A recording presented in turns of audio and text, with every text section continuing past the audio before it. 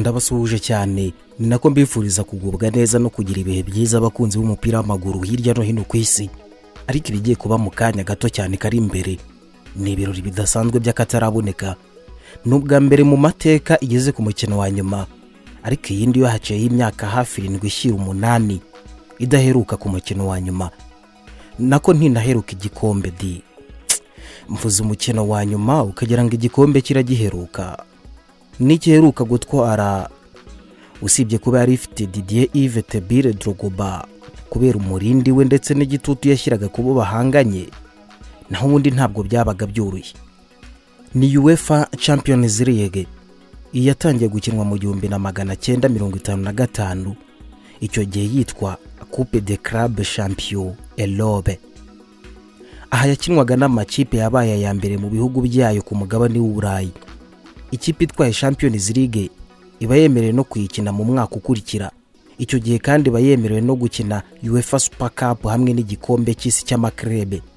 Abazanye icyumviro cyangwa se igitekerezo cya uefa champions league ni abanyamakuru b'i paris mu gihugu cy'ubufaransa iyi yatangiye gukinwa mu gihumbi na magana cyenda mirongo itanu na gatanu n'igihumbi na magana cyenda mirongo itanu na gatandatu nyine. Ikinwa n'amakipe cumi n'atandatu. Umukino wa mbere wabaye tariki ya kane ukwezi kwa cyenda mu gihumbi na magana cyenda mirongo itanu na gatanu i lisbonne mu gihugu cya portugal. Imbere y'abafana ibihumbi mirongo itatu hagati ya sporting cp ndetse na partizan belgrade. Icyo gihe umukino wa nyuma cyangwa se finali yatwawe na real madrid itsinze ibitego bine kuri bitatu ikipe ya rem real madrid yakomeje kubitwara kugera mu gihumbi na magana cyenda mirongo itandatu naho mu mwaka w'igihumbi na magana cyenda mirongo itandatu ntiyabashije kugitwara. Iki gikombe cyatwawe na benefika itsinze barcelona. Mu mwaka w'igihumbi na magana cyenda mirongo icyenda na kabiri izina ryakuyeho iryitwaga coupe de club champion erope ryitwa uefa champions league. Akenshi na kenshi bamwe bumvise indirimbo uefa champions league bamera nk'abafashwe n'amashanyarazi cyangwa se bakamera nk'abafashwe n'ibinya iyi ndirimbo ya uefa champions league yemejwe mu gihumbi na magana cyenda mirongo icyenda na kabiri. Ikorwa na tony bright ari kumwe n'andi matsinda y'abaririmbyi batandukanye. Iririmbwa mu ndimi eshatu icyongereza igifaransa ndetse n'ikidage. Kuva champions league itangiye gukinwa imaze gutwarwa n'amakipe hafi makumyabiri n'abiri cyangwa se makumyabiri n'atatu niba ntibeshye. Ikipe ifite ibikombe byinshi bya uefa champions league ni real madrid cyangwa se los melongos. Ibikombe bigera muri cumi na bitatu. Amakipe yo muri esipanye niyo amaze gutwara ibikombe byinshi kuko afite ibikombe cumi n'umunani. Mu bwongereza amakipe afite ibikombe cumi na bitatu. Mu butaliyani ni cumi na bibiri ndetse no mu budage ni birindwi. Ikipe imaze gutsindirwa kuri finali inshuro nyinshi ni juventus. Imaze gutsindwa inshuro zirindwi. Ikipe ya real madrid ifite agahego ko kwitabira uefa champions league inshuro nyinshi zirenga makumyabiri n'ebyiri. Kuva mu gihumbi na magana cyenda na mirongo icyenda na karindwi na bibiri na cumi n'icyenda yewe na bibiri na makumyabiri na bibiri na makumyabiri na rimwe. Real madrid iracyari ku isonga mu makipe yitabira uefa champions league. Ikipe ya fc barcelona ifite agahego ko kumara imikino myinshi idatsindiwe ku kibuga cyayo. Imikino irenga mirongo itatu n'umwe. Ubu na yo ni imwe mu makipe afite ubukombe ndetse n'amateka adasanzwe kudatsindirwa iwayo mu mikino ya uefa champions league inshuro nyinshi. Umukinnyi umaze gutsinda ibitego byinshi muri uefa champions league ni cristiano ronaldo. Birenga ibitego ijana na makumyabiri na birindwi. Mu gihe uyu mukinnyi umaze gutanga pase nyinshi zivamo ibitego nabwo cristiano ronaldo aracyari imbere. Hanyuma umaze gukina imikino myinshi muri uefa champions league ni ike kaziyasi ikipe ya chelsea yo mu gihugu cy'ubwongereza. Yageze muri kimwe cya kane kirangiza cya uefa champions league bwa mbere mu myaka irindwi. Nyuma y'uko yatsinze atletico do madrid ibitego bibiri ku busa. Hari ku munsi wo kuwa gatatu ikayisezera ku giteranyo cy'ibitego bitatu ku busa mu mikino yombi. Iyi kipe y'umutoza thomas tusheri yari imaze imikino cumi n'itatu idatsindwa. Yabifashijwemo n'abakinnyi bashya barimo timo wena kai havet ndetse na hakim ziyeci atletico madrid yihariye iminota ibanza ndetse yashoboraga kubona penaliti ubwo cesare azibirikweta yakururaga yannick carasco ariko umusifuzi w'umutaliyani daniel urusato yerekana ko nta cyabaye ndetse n'ikoranabuhanga rya vare ntiryabirebaho. Ku munota wa mirongo itatu na gatatu gusa chelsea yungukiye ku gutakaza umupira kwa atletico do madrid yari yisatiriye. Kai havert na timo wena bakinana neza mbere y'uko uyu wa nyuma ahindura umupira watsinzwe n'igitego na hakim ziyeci iyi kipe yo mu gihugu cy'ubwongereza yashoboraga kandi kubona igitego cya kabiri mu minota ya mbere y'igice cya kabiri. Maze umuzamu yohan oblak akuramo umupira wari utewe na kai havard oblak yasabwe kandi kongera kurokora atletico madrid ubwo hakimu ziyeci yateraga ishoti rikomeye ari inyuma y'urubuga rw'amahina. Uyu muzamu arenza umupira hejuru y'izamu. Atletico madrid yasigaye ari abakinnyi icumi mu kibuga.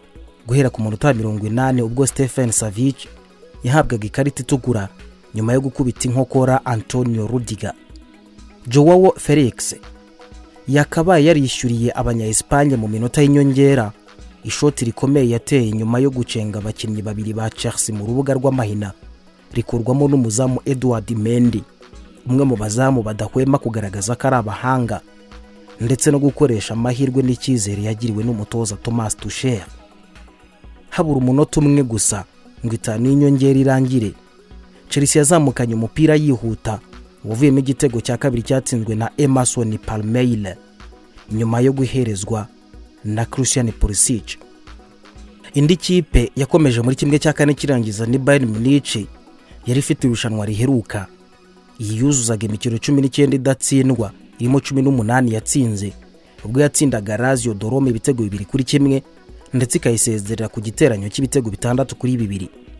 Robert lewandowski yafunguye amazamu mu gice cya mbere kuri penaliti mu gihe eric cupo moting maxime yatsinze icya kabiri ku munota mirongo irindwi na gatatu. Igitego kimwe cya razio doroma gitsindwa na palalo ku munota mirongo inani na kabiri. Bayern munice yari yarabaye ubukombe. Yageze muri kimwe cya kane kirangiza cya uefa champions league ku nshuro ya cumi n'icyenda yikurikiranya. Ndetse nta n'indi kipe irabigeraho muri ubu buryo. Tombora y'uko amakipe yagombaga guhura muri kimwe cya kane. Yari iteganijwe tariki ya cumi n'icyenda werurwe umwaka ushize. Isaa saba iniyo mu busuwisi. Iyi tombora yagombaga kwitabirwa na fc porto borussia dortmund paris saint germain liverpool manchester city real madrid chelsea ndetse na ekipe ya bayern munich yo mu gihugu cy'ubudage gusa kuri uyu munsi wa none aya makipe tuvuze yaba porto dortmund paris saint germain liverpool real madrid ndetse na bayern munich. Nta n'imwe yabashije kugira amahirwe yo kugera ku mukino wa nyuma. Ntabwo byari byoroshye kuko ikipe ya chelsea na manchester city izi kipe nizo zabashije kugira amahirwe yo kwerekeza ku mukino wa nyuma wa uefa champions league. Bwa mbere mu mateka ikipe ya manchester city ndetse n'umutoza pepe guardiola babanditse amateka yo kugera ahatagerwa na buri umwe wese. Nyamara iyi kipe yarakoze koko. Ugiye kureba abakinnyi batandukanye bagiye bafasha ikipe ya manchester city ku isonga ntiwakwibagirwa kamashini cyangwa se kamotera wayo. Kevin de bruyne. Uyu ni umwe mu bagabo bakunze kuzengereza uwo bahanganye mu kibuga.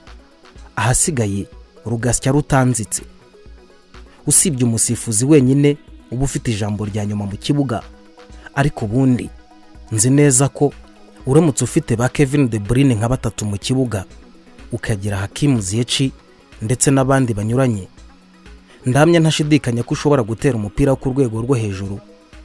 Bityo ikipe muhanganye ikagira ubwoba. Blue is the color for this year. Champions league final. As manchester city and chelsea board their flight to porto seeking to end the strongest of season with the biggest prize of them all. Ayo ni amagambo y'ikinyamakuru sport more ni umukino ukomeye. Pepe guardiola yagize ati men's advanced today showpiece event after dapping paris saint germain out in the semi-final. While all-time great real madrid were no match for thomas tuchel's chelsea. Mu by'ukuri ngenekereje mu kinyarwanda uyu mutoza pepe guardiola ati nyuma yo gusezera ikipe ya paris saint germain tukayikuramo muri kimwe cya kabiri kirangiza. Ndakeka ko ibihe byose kuri ubu ngubu bisa n'ibikomeye. Nta kintu na kimwe Madrid yo yazitwaza. Ariko nanone ku mutoza nka Thomas Tuchel wa ekipe ya Chelsea uyu munsi ashobora kuza guhura n'akazi katoroshye. Iki kinyamakuru kandi cyakomeje kigira kiti alokas 16500 strong crowd will take their seats at the estadio do dragao for saturday. Cyangwa se ngenekereje mu kinyarwanda ibihumbi cumi na bitandatu na magana atanu by'abafana uyu munsi biraza kuba byicaye muri estadio do dragao ni mu gihugu cya portugal. Ni umukino utari buze kuba woroshye. Ni umukino ufite icyo usobanuye ku mpande zombi. Ariko nanone nk'umutoza pepe guardiola arabizi neza ko ashaka kwegukana iki gikombe. Kimwe mu bikombe bikomeye abafana ndetse n'abakunzi ba manchester city mu gihugu cy'ubwongereza bakeneye. Riyade mahereze ni umwe mu bantu bitezweho cyane. Ntawakwibagirwa umukino manchester city yatsinzemo cyangwa se yasezeremo ikipe ya paris saint germain ntabwo byari byoroshye byari ibintu bikomeye. Ni na yo mpamvu pepe guardiola agize ati side and route to portugal. Ni inzira ndende nyine kandi byanasabye imbaraga nyinshi ikipe ya manchester city kugira ngo ibe igeze ahangaha gusa ndahamya neza ntashidikanya nongere mbigaruke ufite kevin de bruyne ukagira phil foden gabriel jesus sergio kun aguero. Aba bagabo bombi bose barahari. Nta kibazo na kimwe bari buze kuba bagira. Ni umukino utari buze korohera umutoza thomas tusheri wa chelsea. Tuzi uburyo yavuye mu ikipe ya paris saint germain ariko ageze ahangaha mu by'ukuri ntawatekerezaga ko yahagera. Gusa nanone ni uko yasanze ikipe nzima kandi nanone izi ishaka. Inifuza kongera gutwara UEFA Champions League.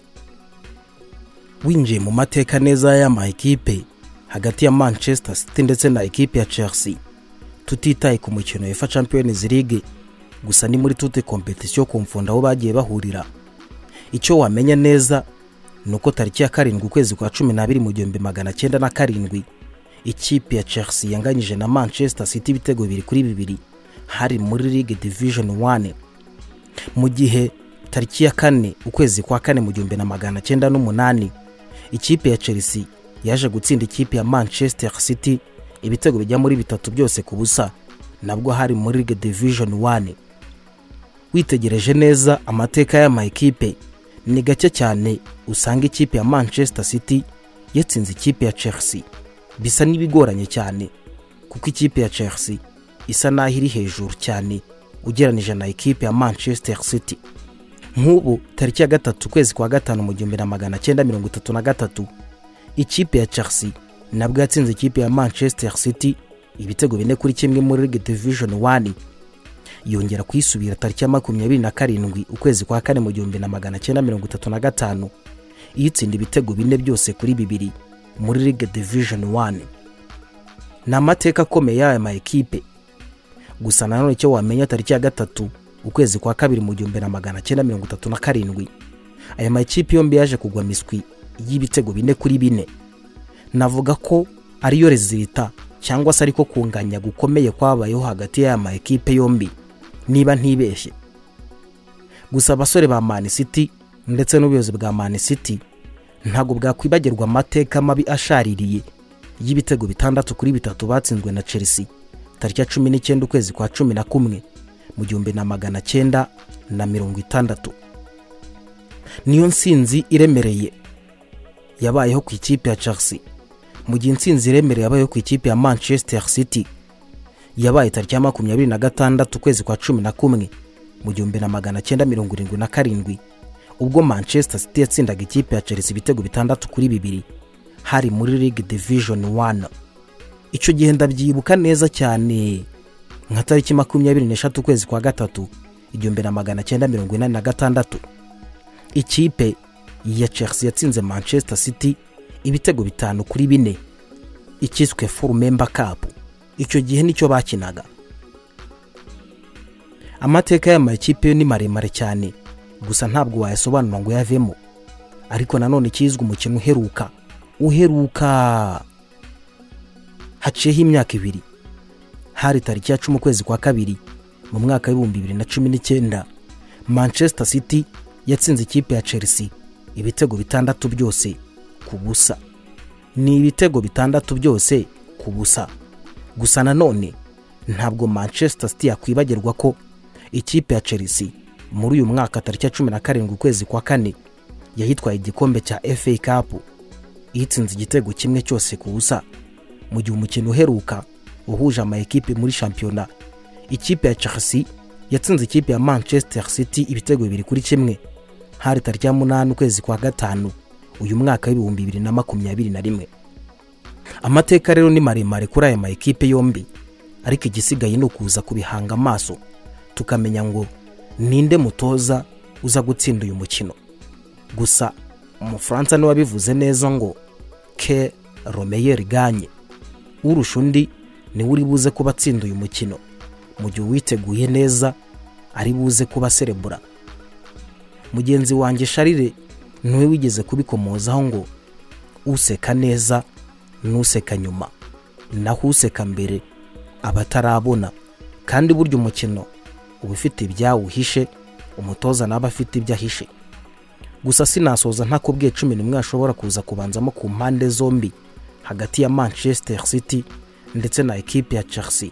Kuko ndabizi abenshi mu nyoteye no kumenya ngo ese abatoza bacu uyu munsi baraza kuba bashyizemo bande? Biraza kuba bihagaze bite se ubundi?